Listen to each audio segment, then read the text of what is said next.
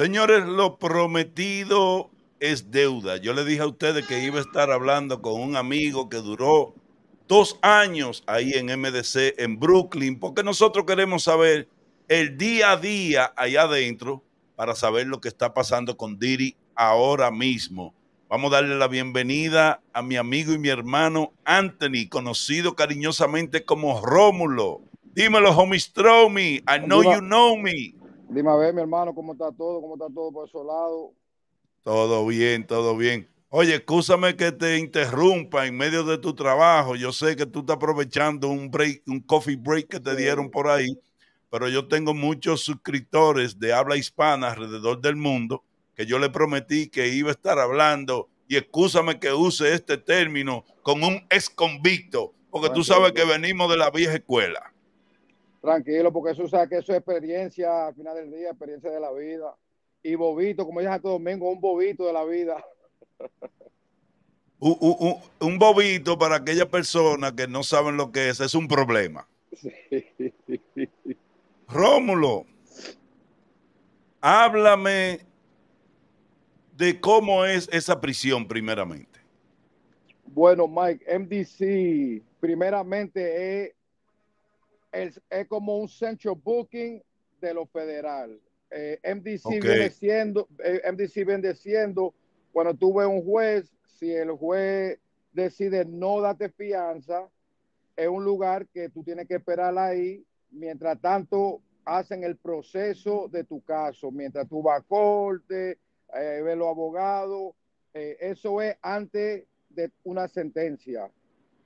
Ahí todo, el que está, todo el que está ahí no tiene sentencia, está en su proceso de pelear su caso. Ahora, sí tienen, yo creo que son eh, el piso 5, es un piso que, que, hay gente que si tienen poquito tiempo que hacer, puede, tienen la decisión de hacer su tiempo ahí mismo, pero son bien pocos, no, no llegan ni a 300 eh, presos. Esos presos trabajan ahí mismo en la prisión, son los que le da, llevan la comida a los otros presos, son los que limpian la cárcel, son los que hacen todos los movimientos. ¿Tú me entiendes? Ok, ok. O sea que los necesitan para el día a día. Para el día a día. Esos son los que trabajan en suicidio, los que trabajan... Eh, eh, porque tú sabes que en las celdas ponen un preso eh, a caminar para arriba y para abajo para si uno se está guindando llamar a la policía. Exactamente. Y que la policía venga, abra la celda y corte la sábana y vaina. Ajá, lo que ponen es Suicide Watch. Sí, Suicide. Oye, sigue, sigue. Entonces, es una, también es una cárcel que no hay movimiento.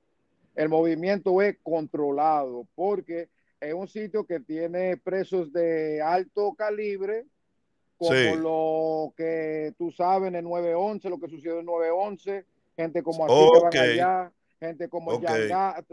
todos los agentes de renombre que ha caído en el sistema aquí en la federal, ha pasado por ahí los Yangaris, los Chapos, los Arkelis, los gente como así. Entonces, un, un, un sitio que el, el movimiento es controlado. Ahí los presos no salen de su caseta.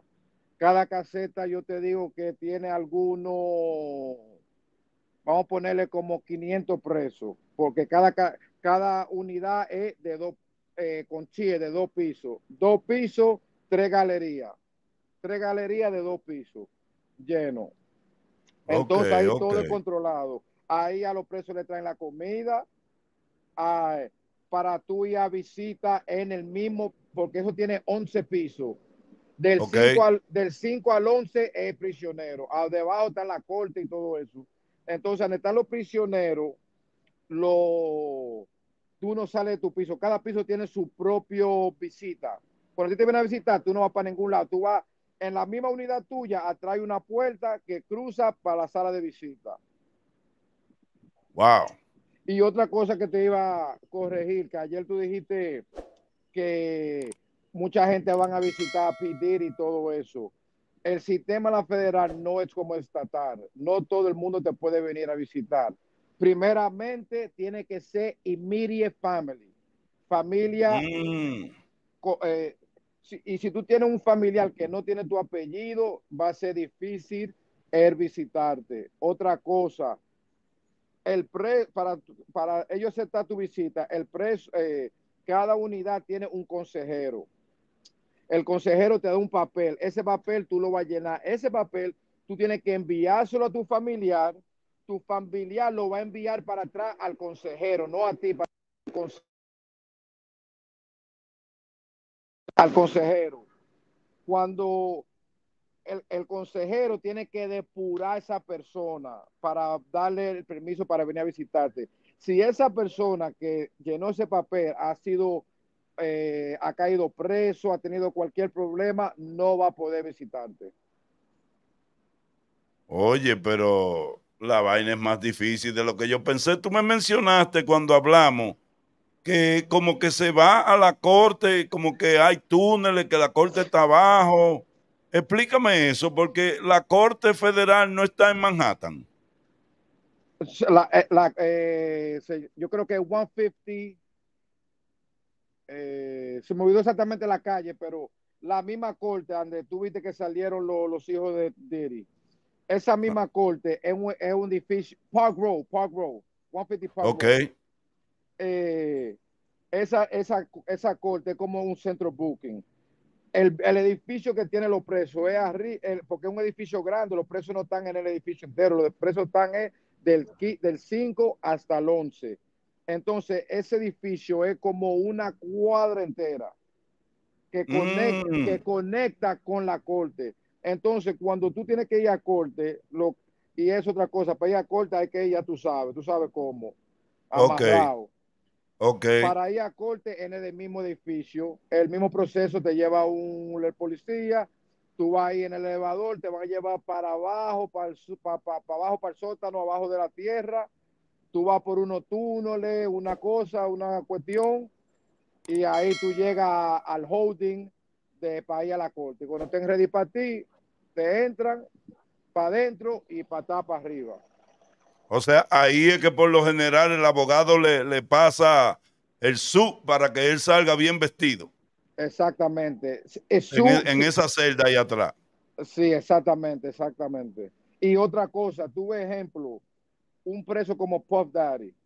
Cuando, cuando, eh, eh, cuando él dijo movimiento controlado, es movimiento controlado, que cuando ellos van a mover un preso de alto rango, así como Puff Daddy, es todo que para, eso es todos los prisioneros para atrás para su celda, tú lo oyes por, eh, por la bocina, con show movement. Nadie se mueve hasta que ellos muevan a P. Diddy del lugar A al lugar B. Cuando llega a su destinación, ya todo eh, se pone para atrás para normal. Wow. Entonces, explícame un día, o sea, a qué hora se despiertan, eh, el desayuno se lo llevan a la celda o van a, a un comedor eh, después del desayuno que hacen. O okay. sea, explícame un día en esa cárcel federal. Bueno, a nivel ya de horario, tú sabes que yo te voy a dar un horario que a lo mejor no van a ser. Ok. Porque tú sabes que gracias a Dios eso hace mucho, pero por la mañana lo, eh, la unidad tiene, toda la unidad tiene su propia cocina. Entran los presos con la comida, con el desayuno, lo abren las, nuestras celdas, todo el mundo camina a buscar su comida. Tú sabes, en el day room, en el, en sí. el cuarto de día a día, en están las televisiones.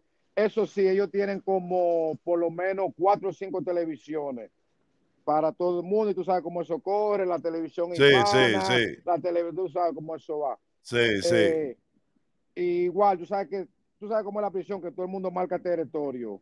Tú sabes sí. que allí se sientan fulanos, los, los, dominicanos, allí se sientan los, tú sabes qué, todo diferente, pero yo digo eso de la 8, tú estás fuera de tu celda, eh, ya eso de las 10, 11 tiene que entrar para atrás porque hay que contar.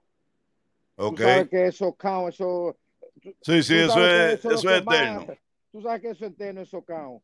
Eh, entra para el count, sale de nuevo eso de las 12, antes del lunch sale de nuevo, te dejan afuera, eso ya de, yo creo que el próximo count, eso de las 3 y media, 4, para atrás, para adentro. Como a las 5 o las 6 quedan el almuerzo y ya. ¿Almuerzo o la cena? La cena, disculpa, la cena. Y después de eso, eh, tú, sabes, tú sabes que allá hay comisarias, si tú tienes lo tuyo, tú hay microondas, tú puedes hacer lo tuyo, pero el que no tenga y comió a las 5 o 6 ya no come hasta el otro día, por la mañana. ¿Y los microondas dónde están?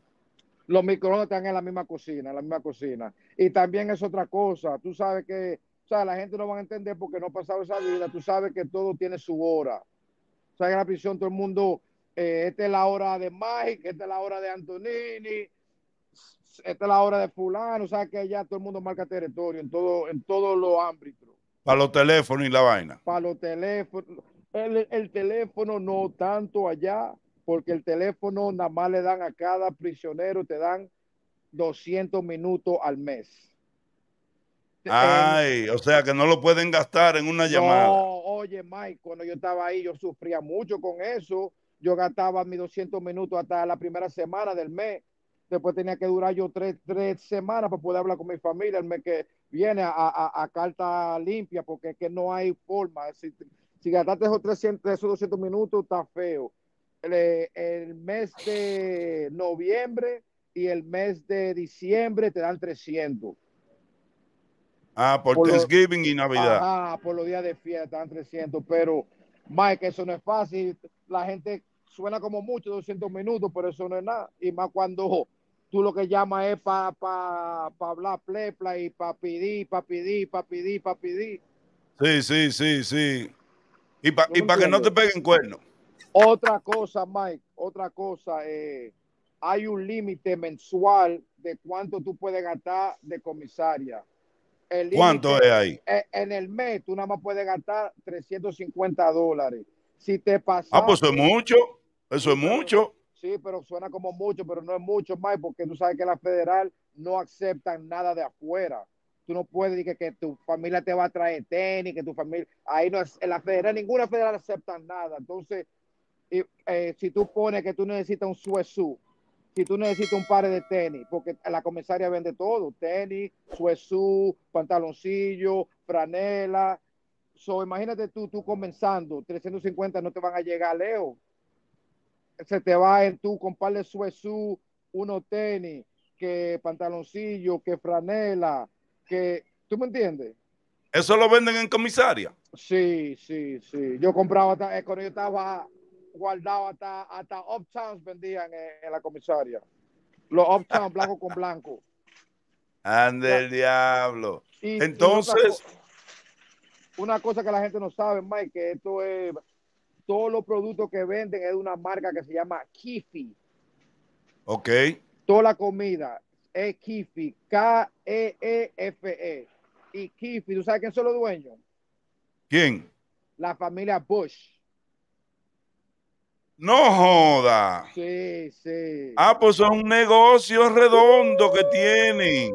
Redondito consiguieron ese contrato, mierda. Tú sabes los millones que se mueven ahí, porque hay muchos presos y 350 dólares al mes por todo ese preso que hay en los Estados Unidos, en los Estados Unidos enteros. No estamos hablando de que estatal, Nueva York, no estamos hablando, tú sabes que los federales, tú caes preso en Manhattan y te, mandan para California a hacer tu tiempo. hasta a Puerto Rico te mandan.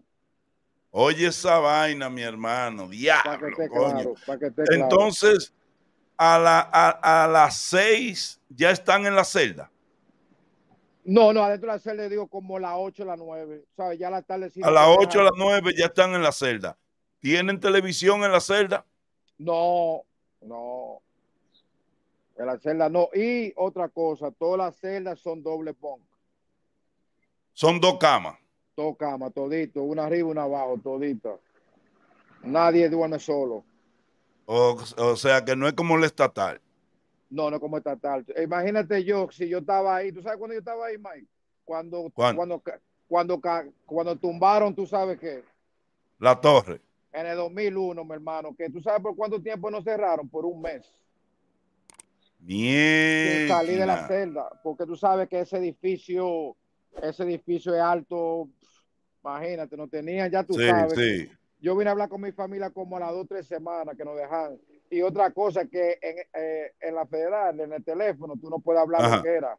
No puedes, si tú hablas cualquier cosa rara, te lo garantizo que en menos de 10, 15 minutos tiene unos policías al lado, bajándote para abajo para preguntarte de qué tú estás hablando. Oh, háblame de, de, la recreación. Aparte de en el day room, que tú sabes que ahí jugamos domino, se juegan, se juegan cartas. Háblame de la recreación, porque yo sé que ahí tienen una yarda en la azotea, limitada como con verja ciclónica y vaina. Háblame de eso. Yo te voy a decir la verdad, a veces ni vale la pena ir para allá arriba, porque a veces por cualquier cosita que hagan los presos se la quieren, no la quieren quitar. Que, oh, ejemplo, hoy no hay yarda porque cualquier, ellos siempre se inventa algo, pero tampoco no es gran cosa, porque cuando te suben para allá arriba, lo que tiene es, una cancha de basquetbol, eh, tú puedes caminar, pero imagínate, más que un rufo cerrado es lo mismo que está en tu celda, mi hermano. No, como que no, coge más tiempo tú llegar allá que el tiempo que ellos te dan allá arriba. Porque lo que te dan es una hora, una hora y media, imagínate tú cambiarte y todo eso para subir y que es una hora y bajar para abajo. ¿Tú me entiendes? El mismo sistema, el mismo sistema, Mike, hace la gente a veces. Hay presos que a veces le están ofreciendo eh, un tiempo y lo cogen nada más para irse ya para, su prisión, para hacer su tiempo, porque es que no aguanta esa presión de estar encerrado. Tú me dijiste que duraste dos años ahí. Dos años peleando mi caso. ¿Peleando el caso o haciendo tu tiempo? No, peleando mi caso, peleando mi caso. O sea que Diri puede durar dos años también hasta o más. Cuatro, hasta cuatro, hasta cinco. Oh, sí. Todo depende de lo que coge el tiempo. Los federales no cogen esa de, que de, acelerar el proceso. Ellos te ponen la fecha y ellos son los que deciden. Claro, claro. No. Y yo te voy a decir la verdad, Mike. No te voy a decir que me da pena porque tú sabes, todo el mundo es responsable por, por su delito, lo que hace, pero el Diri la va a pasar fea, Mike oye lo peor, oye lo peor que tiene Tiri, que ejemplo, que no tiene alguien normal. Él es alto categorio, él va para pa, eh, protección. A donde él lo van a meter, él no va a ver la, él no va a ver el sol, mi hermano. Ahí no, no, ahí sí no hay movimiento. Por lo menos yo estaba en población, que hay gente, tú puedes hablar, puedes ver televisión, pero donde lo tienen a él, no hay televisión, no hay nada. Eso es 23 horas lockdown amargura lo que hay para ese tipo. Oye, yo no me quiero imaginar lo que ese hombre tiene en su cabeza, mi hermano. Y más un hombre que no le dieron fianza. Sí, sí, está jodido. Y no le van a dar fianza. Y no le van a dar fianza. Porque tú sabes, Mike, que la gente no entiende este sistema. Este sistema coge la cosa personal. Eh, todo eso que hizo Diri, truqueando, lo que sea, eh, el sistema lo coge personal. A Diri le van a dar duro. Qué vaina. Bueno, Anthony, querido Rómulo, gracias por tomar de tu coffee break para compartir con nosotros aquí en The Hype Podcast. Eso es Washington Heights en la casa. Washington Heights. Que no, es, Gracias, brothercito. Ya tú sabes, para todo el mundo allá en tu canal, bendiciones. Sigue para adelante, ya tú sabes, está querido, mi hermano. Te quiero mucho. Gracias por el apoyo. Igual, mi hermano. Gracias.